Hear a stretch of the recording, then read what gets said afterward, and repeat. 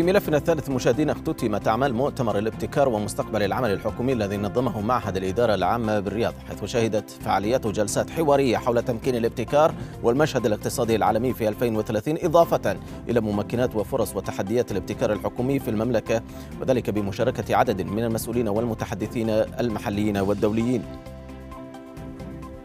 وعلى هامش مؤتمر الابتكار ومستقبل العمل الحكومي وقع وزير الداخلية الأمير عبد العزيز بن سعود وثيقة تدشين الجواز الإلكتروني الجديد. يأتي ذلك ضمن جهود وزارة الداخلية لمواكبة التطورات التقنية والاستفادة من الإمكانات المتوافرة في تقديم أرقى الخدمات للمواطنين. الجواز الإلكتروني يحتوي على صفحة بيانات بوليكربونات مضمنة لصورة حامل الوثيقة بالإضافة إلى السمات الأمنية لعدد ثلاث صور بالصفحة الرئيسية وهي هي الفيصل الرئيسي في تحول الجواز الإلكتروني بالإضافة إلى الشريحة الذكية التي يحتويها الجواز، الصورة التي وضعت على الصفحة الأخرى أيضا استفدنا من صفحات الجواز باستخدام جميع المواقع الحيوية والحضارية في مملكتنا الحبيبة لنعكس انطباع ونعطي صورة كاملة عن جميع ما تحوي المملكة من مواقع. فعاليات مؤتمر الابتكار ومستقبل العمل الحكومي شهدت مشاركة شخصيات قيادية من صناع القرار وخبراء في المجال والذي تتصدر المملكة موقعا رياديا فيه ويشهد على ذلك من رقمية شبه كاملة للإجراءات والعمل الحكومي في السعودية. أبرز رسائل هذا المؤتمر ودور الابتكار الحكومي في تحقيق مستهدفات الرؤية مشاهدينا نناقشها لكن بعد هذا التقرير. الابتكار اليوم ضرورة وليس خيارا للحكومات. الابتكار أصبح اليوم ضرورة وليس خيارا لمواكبة المتغيرات ومواصلة النمو والتطور. هذا ما قاله وزير الموارد البشرية والتنمية الاجتماعية خلال افتتاح أعمال مؤتمر الابتكار ومستقبل العمل الحكومي في الرياض والذي ينهي أعماله بعد يومين حافلين بفعاليات تضمنت ست جلسات شارك فيها قادة وصناع القرار وذو خبرة في مجال الابتكار الحكومي بهدف تحفيز ثقافة الابتكار المؤسسي.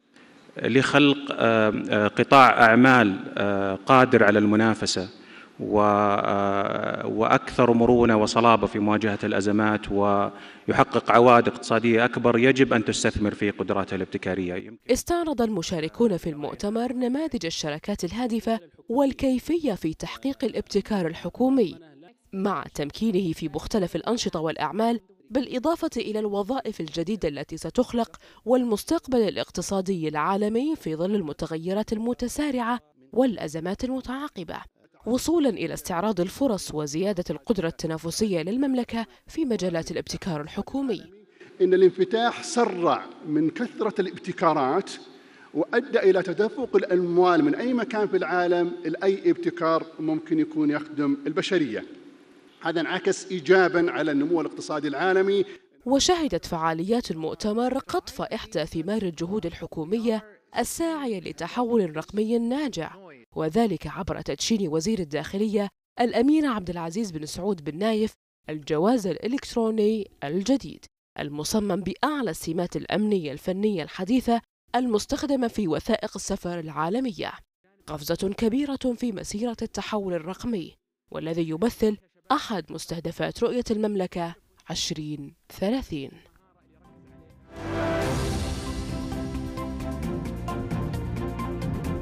أهلا بكم مجددا مشاهدينا وارحب بضيفي هنا في الاستوديو مدير عام التخطيط والتميز المؤسسي في معهد الإدارة العامة الدكتور هاشم المكرمي. أهلا بك شكرا لحضورك. ما أبرز ما شهده المؤتمر على مدار يومين وأنت كنت أحد الحضور فيه. الله يعطيك العافية أخوي مفرح. في البداية أشكركم وأشكر القناة الموقره على تسليط الضوء على هذا المؤتمر. مؤتمر الابتكار ومستقبل العمل الحكومي. نعم أتى هذا المؤتمر بموافقة من المقام السامي وبرعاية من معالي وزير الموارد البشرية والتنمية الاجتماعية تم افتتاح المؤتمر يوم أمس ولمدة يومين. آه الحمد لله يعني كانت آه أصداءه رائعة وكان فيه مداخلات ونقاشات مثرية في هذا آه المجال. طبعا المؤتمر يتكون من أربع محاور رئيسية وخلني أقول السبب الرئيسي في يعني إنشاء هذا المؤتمر هو أن المعهد أخذ على عاتقه يعني زي ما تعرفون رؤية المملكة هي هي رؤية طموحة ومبتكرة حقيقة. وكل محور وكل هدف فيها تجد الابتكار آه، منهج عمل فيه. فمن هذا المنطلق يمكن المعهد وبعد مرور 60 عام من تاسيسه أخذ على عاتقه يعني أهمية إنه المشاركة بالمؤتمر هذا اللي إن شاء الله من مخرجاته بيكون لها آه، المساهمة في تحقيق رؤية المملكة. آه، طبعا المؤتمر يتكون من أربع محاور رئيسية بدءا بالابتكار الحكومي التحول الرقمي آه، المال والاقتصاد والسياسات العامة. هذه الأربع المحاور ممكن نقول أنها ترجمت في ست جلسات. على مدار اليومين آه، حضرها أكثر من آه، أو تحدث فيها حوالي 30 إلى 35 خبير محلي وعالمي. جميع هذه العقول أتت لمناقشة هذه القضية والتكامل في الآراء ووجهات النظر بما يخدم القطاع الحكومي بشكل خاص والابتكار بشكل عام. طيب أنت كيف ترى القطاع الحكومي وحضور الابتكار فيه. ربما تجربة تابعناها كانت لوزارة الداخلية وهي رائدة في هذا الصدد. لكن المؤسسات الحكومية الأخرى آه، إذا كان الابتكار يحسن من جودة المنتجات ويعزز تميز المؤسسة ويخلق قدرة تنافسية بعض المؤسسات والقطاعات الحكومية تقول أنا لست بحاجة ولست في منافسة مع أحد وبالتالي آه، لا أحتاج لمثل هذه الموضوعات. المواطن مجبرا سيأتي لخدماتي ما رأيك؟ آه آه نعم. آه كلامك في, في علامة تامة لكن خلينا نقول الابتكار يعني وهذا ما خلصنا فيه في جلسات المؤتمر في اليومين هذه بإجماع جميع الخبراء أنه صار آه مطلب رئيسي وليس خيار أو نقول آه رفاهية. آه، الابتكار وخلنا نبدأ بمفهوم الابتكار. في الأدبيات هو إيجاد منتج مختلف عما سبق. المنتج هذا قد يكون خدمة قد يكون تبسيط إجراء قد يكون سياسات مرنة ولكن بلا شك إن المنتج هذا في عمله وادائه يكون مختلف وأنا أقول مختلف إنه يضيف add value لل end user وللمستفيدين. فلا بد انه صار هذا مطلب رئيسي. آه، زي ما ذكرت أنت وزارة الداخلية وبالتحديد في آه، على سبيل المثال آه، أبشر لنا فيه النموذج الأكبر كفكرة صحيح. ابتكارية كيف نحول مفهوم جميع الخدمات الحكومية في ضغطة زر وفي أشياء اوتوميتد وانت في بيتك تحصل على الخدمة تحصل على الجودة سابقا كان عندنا منظور إن الجودة مقابل التكلفة والوقت م. يعني تحتاج منتج بجودة عالية لابد من تكلفة زيادة تكلفة عالية ووقت م. أكثر للحصول على الخدمة مع الابتكار وعلى سبيل المثال زي ما ذكرت في وزارة الداخلية اللي هو نظام أبشر هذا وفر لك الخدمة بوقت أقل وبجهد أقل. آه، أنا أرى أنها لابد هو صار مطلب.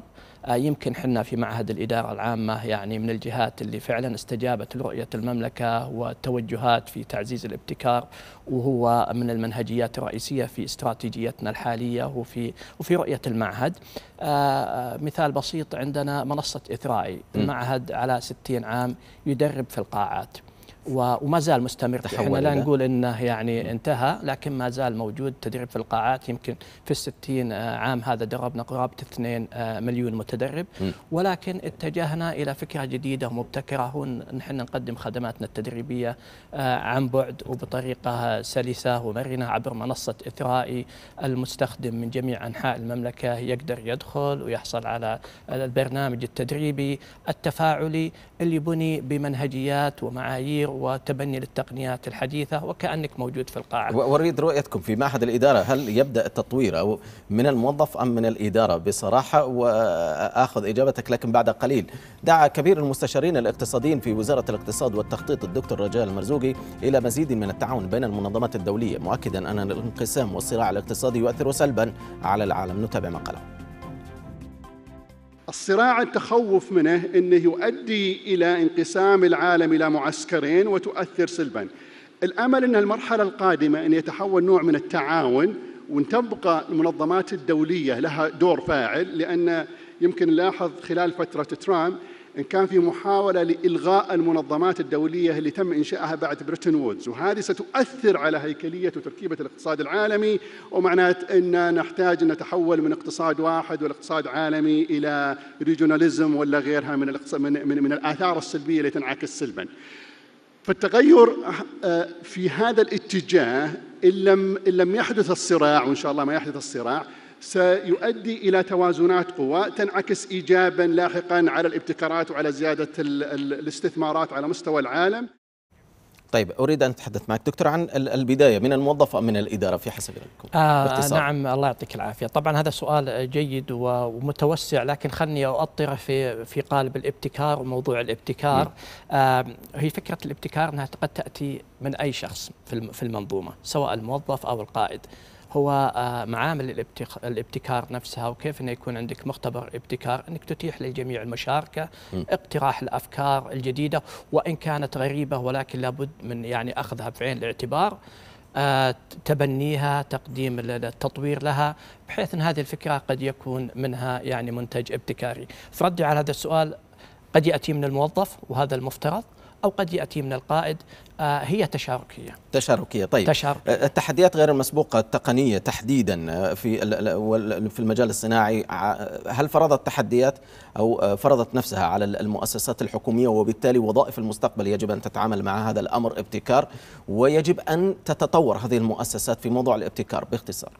آه خلينا نقول آه ما نقول تحديات نقول هو تطوير. تطوير. آه التقنية it comes to add values يعني للجانب طيب. هذا. م. يعني الأعمال النمطية الروتينية التي يعني ممكن تأديتها بمجرد بس أتمتة و automated system قد يؤديها. لكن هذا لا لا لا يعني إنه الاستغناء عن الوظائف الرئيسية الابتكارية اللي ال human له value فيها. آه طبعا بلا شك إن وظائف المستقبل وهذا ممكن من الأشياء اللي نوقشت في هذا المؤتمر قد تختلف عن المنظور الحالي. وأنا يمكن ذكرت بس مثال بسيط عن منصة إثرائي والتدريب. إحنا تحولنا أو أو صار رديف. لا نقول إنه بديل ولكن رديف هو التدريب الإلكتروني أشكرك. بالمنهجيات والتقنيات الحديثة. شكرا جزيلا لك دكتور هاشم المكرمي مدير عام التخطيط والتميز المؤسسي في معهد الإدارة العامة. شكرا لحضورك ووقتك. مشاهدة مشاهدينا الابتكار الحكومي في المملكة أمثلة متنوعة. في عدة مجالات من أبرز الحلول الابتكارية التطبيقات والمنصات كأبشر ناجز توكلنا والتي جعلت المراجعات الحكومية لا تحتاج سوى ضغطة زر أو الإنجاز آه، آه، سوى ضغطة زر كما يقولون. أترككم مع هذا العرض ألتقيكم على رأس الساعة لنواصل. في هنا الرياض وساعتنا الثانية كونوا على الموعد.